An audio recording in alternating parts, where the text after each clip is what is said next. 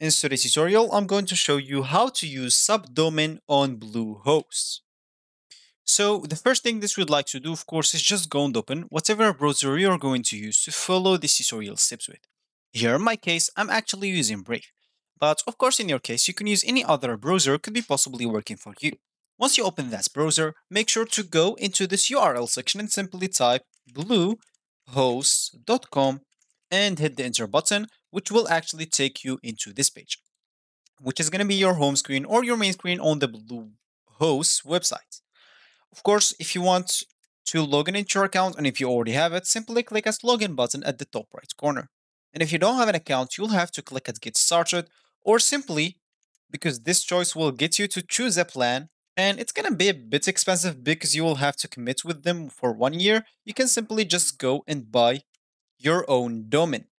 By clicking at this domains option right here, and of course it will take you to the page that will give you the opportunity to buy your domain from and from there you can start and create your account with that way also. So for me, I'm just going to click at login, which will log in into my account directly because I already logged in into my account in this PC. And that is going to be my screen once I logged in into my account. So as you said in this or in the beginning of this tutorial, we would like to use the subdomain or add a subdomain. So simply if we want to do that, we'll have to click at domains here, then click at my domains, which will, for you here, you'll find all the domains that you have in your account. For me, I have just one, which is this one. And of course here, simply I'll have to click at manage of the domain that I would like to use the subdomain or, on add sub subdomain on.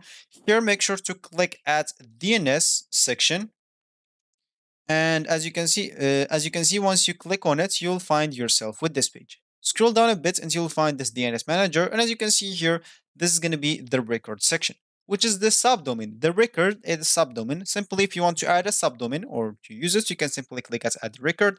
Here, you can choose the host record, whatever a host record you want. Then, of course, you will have to enter the two, which is actually the value. Then, of course, just choose the TTL you can choose, as you can see, the minimum is 4 hours and the maximum is 7 days. Once you fill all of those, you can simply save your subdomain or record and it will be added right here. Of course, this is just the A subdomain. There's the CNAME subdomain, there's the MX, and there's the SRV, there's TXT, there's the 4A. Of course, as you can see here, you can add whatever like subdomain you'd like to use, you can simply just go to the name of the subdomain that you would like to add and click at add record and you will be good to go after you saved it. Like in this one, we once you fill it, save it, and you will find it added uh, with those records right here, right here or those subdomains right here. So this will be actually for this tutorial. I hope you like it. Thank you guys for watching and goodbye.